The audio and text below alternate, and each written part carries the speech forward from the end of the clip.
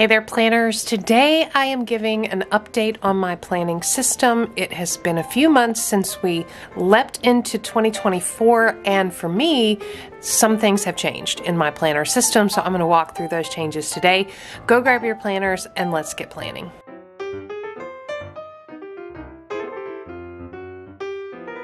All right, there's just something about the spring time frame, which for me occurs that spring feeling occurs right around early March where I get antsy in my planning system.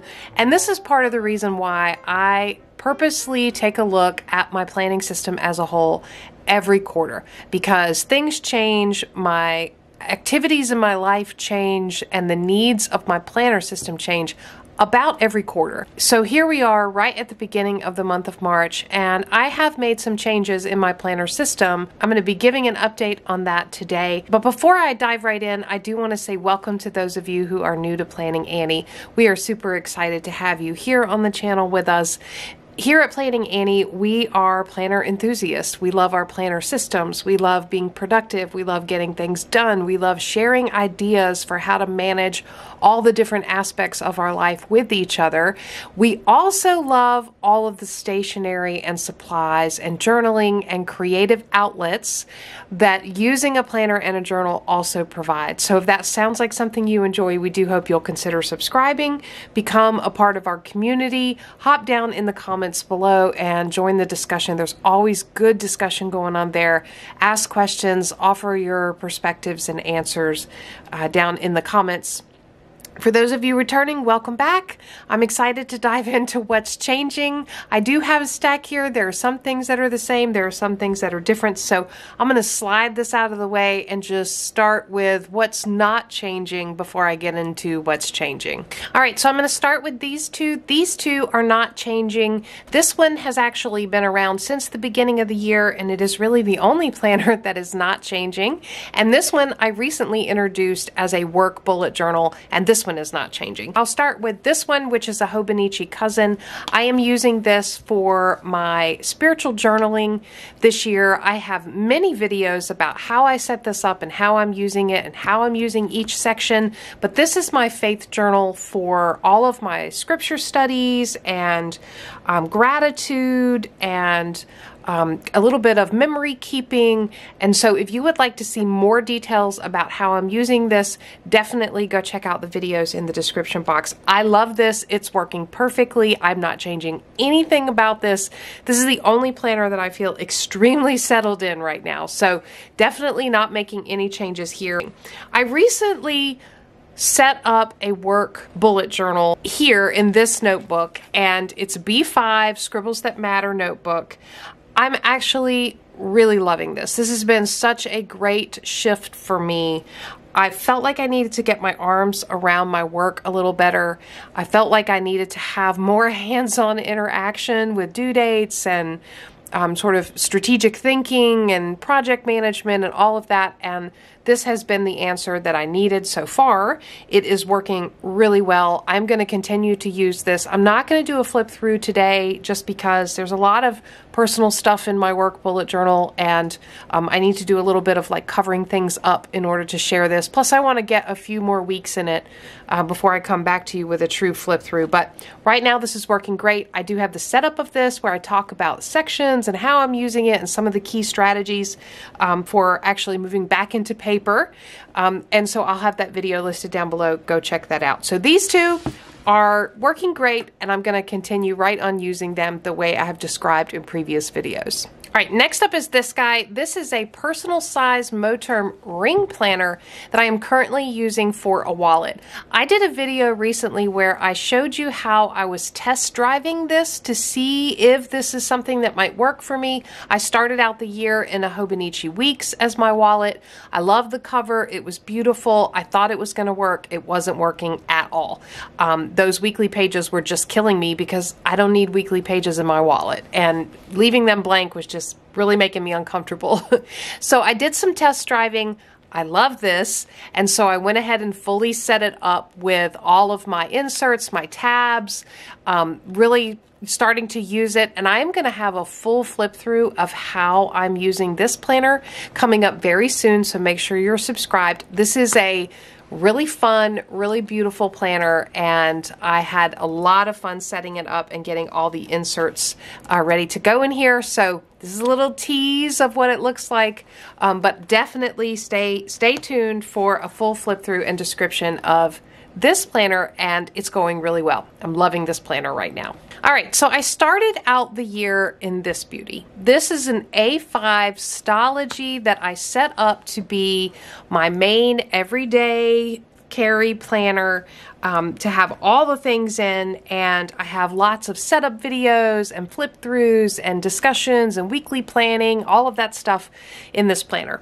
It has gone great. However, I got I don't even know why. I got a little like in a rut with this planner and just felt like I needed to do something differently. And then these two folks entered the picture. So this is where I'm in the most churn right now, and I'm not really sure what I'm doing. so I'm going to talk about these two separately. I'll start with this one. This is a little baby A6 um, this planner is actually called Oxnite is the brand. It's brand new. I found it on Amazon. It was a really great price. It feels and looks a lot like Moterm planner covers. Um, it is a notebook cover. And I have set this up with an A6 size Stalogy. So, A6, um, it's tiny. I, I have been in an A5, so you can see you know, the size difference here. I'm not really sure what had me thinking or drawn to an A6 other than I just felt like I needed to go a little smaller and maybe a bit more informal.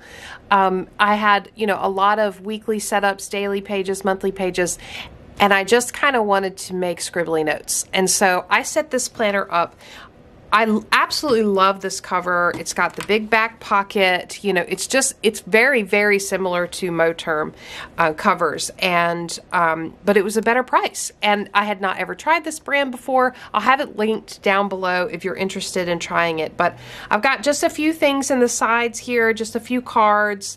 Um, these little die cuts are from Personalize My Planner, which I absolutely love. They have fantastic Bible study stickers and faith stickers, which are really hard to find, so I'll have that list listed down below.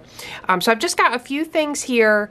I did put this um, A6 Stalogy in a clear cover. And then I just printed this on sticker paper, this image on sticker paper, which I got from Canva, and just stuck it right on um, right on the, the front cover of the Stalogy. Um, I've got some sticky pockets. These are clear sticky pockets that um, that you can get off Amazon. I actually made this I made this years ago. Uh, just using some watercolor, a cute little bunny. It says hop on it. I think he's so adorable, and I love to pull him out every um, every spring as Easter is approaching. This is a little card that came with a Virgo and paper order, and then this also is a Virgo and paper sticker. And I just, you can see the hydrangeas in the background. This is another image printed on sticker paper that I just stuck down. So um, you can tell I'm all about the spring vibes. and this is part of the reason why I'm motivated every spring to change it up a little bit because all those spring vibes, I am longing for spring. All right, so this was a freebie printable from Coffee Monsterz Co. You can get that on the Coffee Monsterz Co. Facebook group. This is a year at a glance from Hourglass Planner uh, on Etsy um, that I just printed out, shrunk down to size and printed out for A6. And then I went through and put in a future log using the freebie calendars from the Coffee Monsterz Co. Facebook group.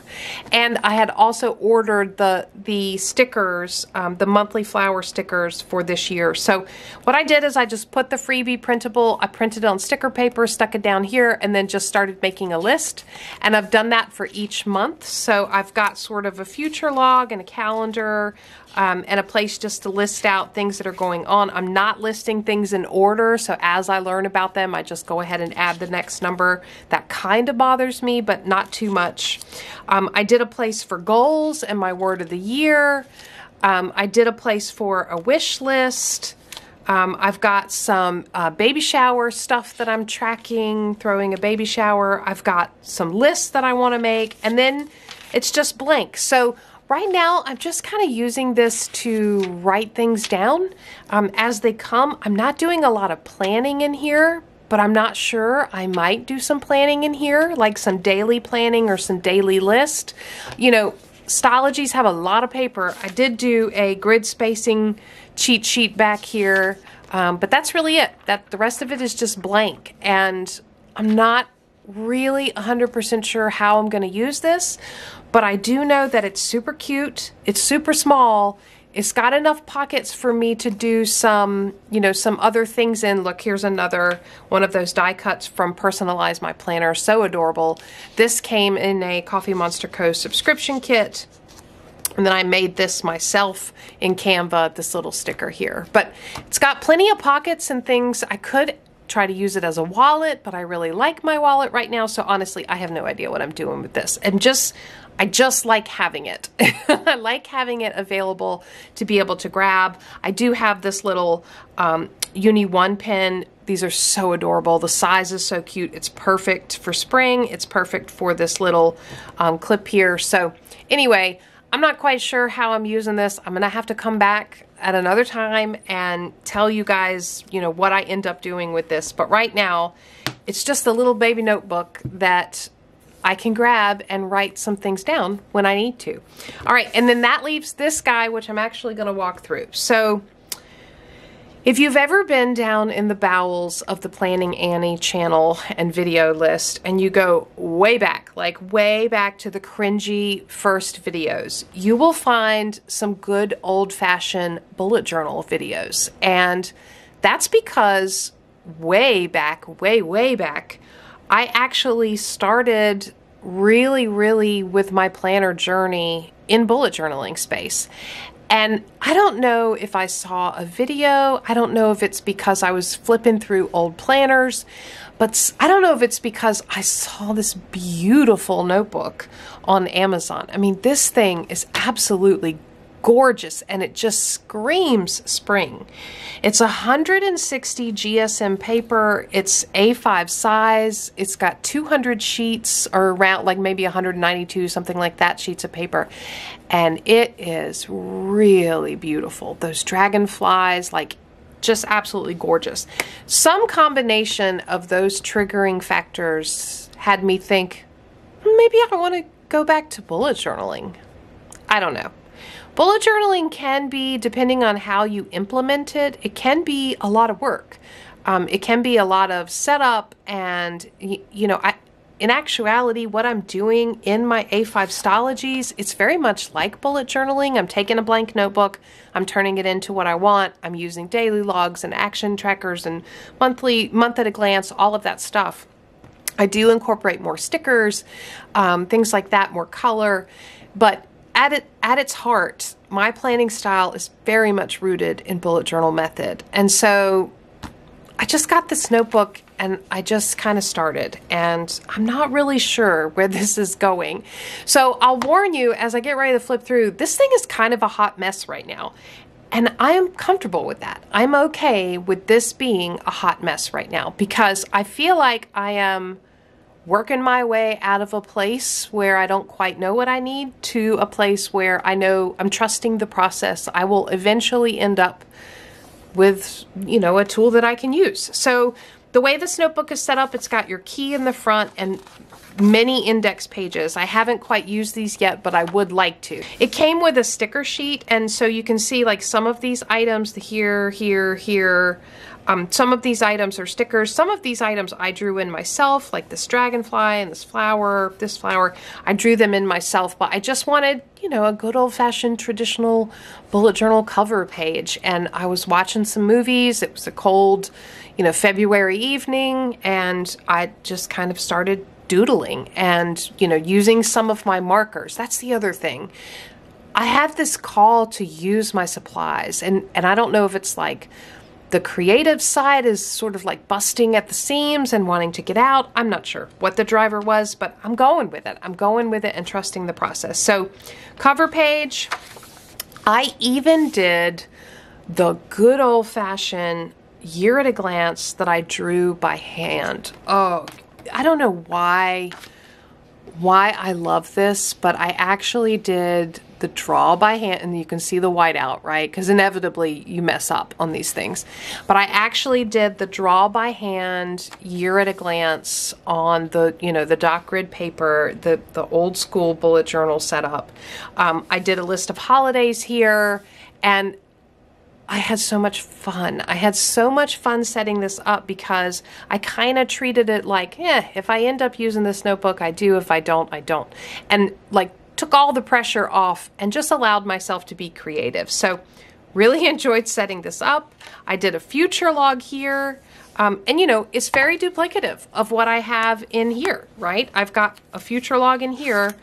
The exact same things are listed here, I just kind of wanted to flex a muscle and, you know, do some creative things, set it up and see if I wanted to use it. So I've got a future log here. I've got a um, sort of a collage of my family and my vision board. Um, I love these pages. I make these in Canva, print them out to the size that I want to on sticker paper, and then cut them out and put them in. And I added a few stickers um, around the edges. But um, you know, this is my this is sort of my vision board for the year. I did a goals section. I'm using some new tools that I got, which stay tuned. I'm going to have a, a, new spring tools video coming up, um, and some of the stickers that came with this notebook, some of the washi tape you know, just my word of the year, my goals. I went ahead and put those in here.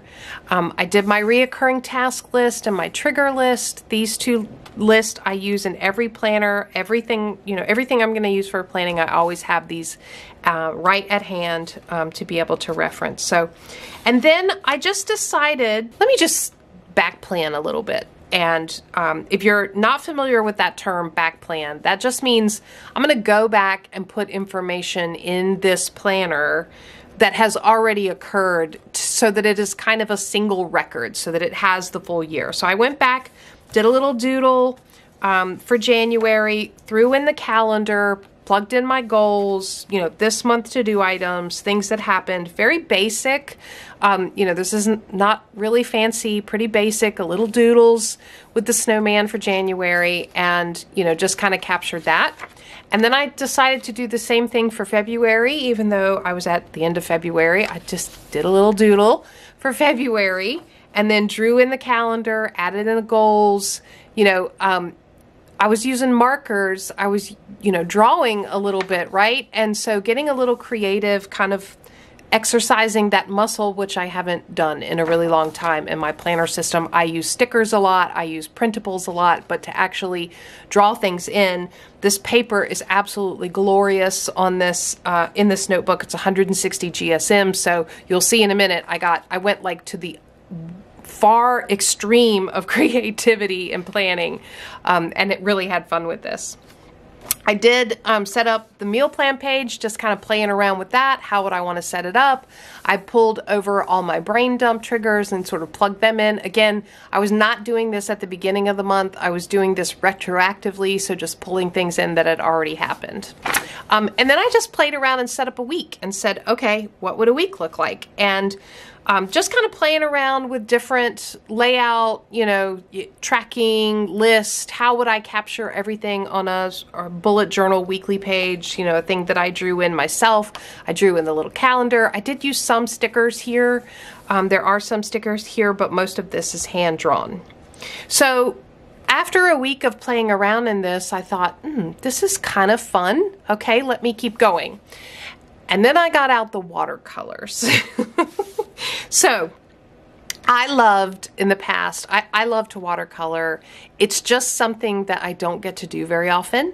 And I just decided to let it go and have a lot of fun with the watercolors. So I set up the month of March using my watercolor palette and um, sort of a theme, I guess you could call it, of pastels and flowers and um, just having fun with the watercolors. And you can see I'm not using like really advanced artistic techniques here. I did a little watercolor blob and then I drew in some flower doodles, right? So I, this is not like, you know, revolutionary artwork here. This is just playing around, just really playing around and and exercising my creative muscle. Um, then I did the monthly calendar, and for this page, I just did a big wash of you know different color pastel watercolors all over the page, and then I drew in the calendar and started plugging things in. Um, we have a lot going on this month. We're really, really busy as a family. So, you know, I started plugging things in. I did use like these weekdays are stickers. This is a sticker. I did use some stickers, but a lot of it is also drawn in. Um, I did the meal plan. I used watercolor for this. I did the brain dump page. I used watercolor as a background. And you can see the pages are kind of crinkly and, you know, um, obviously have been wet. I actually love that. I think it's awesome. They still lay flat. You can see it's a very nice lay flat notebook and the pages, I'm still able to write on them. They look great. So the notebook quality, I'm super impressed with. Okay, this set of pages between here, I've got some, you know, private information on. I just watercolored a background on them and I'm planning planning something for a family member that I'm going to keep private, but it's on those pages. Then I did an Easter spread because March is the month that Easter is in, which is very early. Usually it's in April. It feels very early. So I wanted to have a place to do some Easter planning. Um, and you can see I just kind of played around with egg shapes and designs down here. I mean, again, I don't know that I would frame this. I, and I feel like it's kind of messy and like a little bit ugly, but I also really enjoyed doing it, and um, it feels very personalized. And I, you know, I enjoy coming to this page. So, and that's kind of how I feel about this. Is you know a week that I've completed the first last week of February leading into the first week of March and I just started planning in it and I've had so much fun. It's messy. I just did the watercolor as the background and then, you know, started drawing things in and you can see I've set up other weeks um, as well. I went ahead and set up all the weeks of um, of March and using different formats and different styles of trackers, different colors, all with elements of watercolor in them.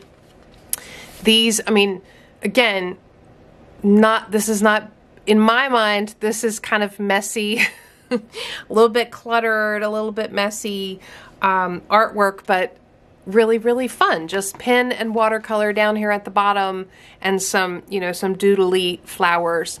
Um, and I just really had fun with the watercolors. And then here's the last week of March.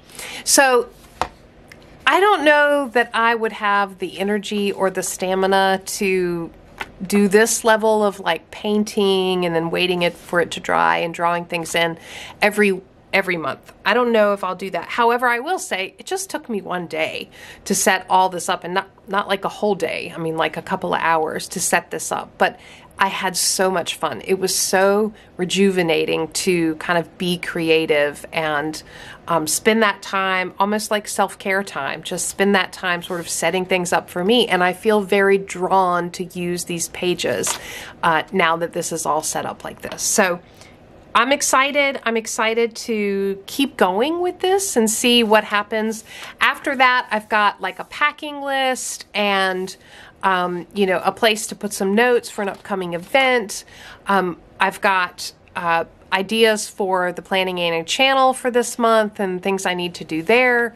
I've got um, I have been having to do some vacation planning for a summer vacation for the family, and I needed a place to capture notes and ideas and research and you know information about the Vrbo and all of that stuff. So I've got that here.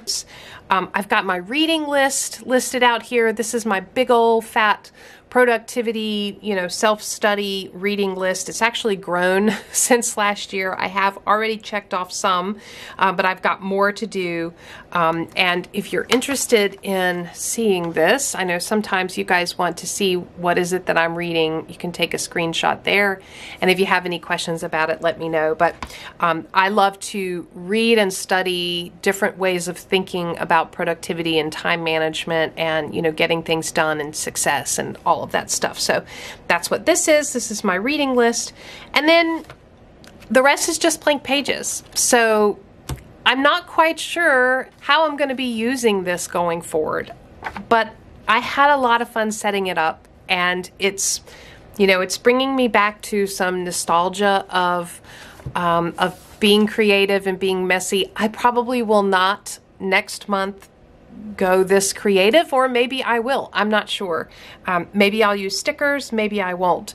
I just know that I um, I have thoroughly enjoyed using this and playing around with it, and the freedom that I gave myself to just have fun. And if I don't end up using it, you know, I can I can use this, I can go back to this. Like I have tools that I can use, but to just kind of play around and not be so concerned about being perfectionist in here. So that's where I am. That's where I am with all my planning tools. I um, I really hope that you enjoy you know, kind of getting an update on where I am with my planning tools. And I'd love to hear from you. Are you having some changes in your planner lineup? Are you experimenting with new tools? Does spring make you a little itchy uh, in your current planner lineup? If so, let me know that down uh, down below. Or if you are perfectly happy with what you started the year with, I'd also love to know that too, because that's nice to know that there are some folks out there like that. So give yourself the freedom to play around and experiment if that's what you're feeling like you need. That's what I've done and I'm really enjoying it. So if you enjoyed the video, give me a thumbs up, subscribe to Planning Annie for more content like this. And as always, thanks for planning with me.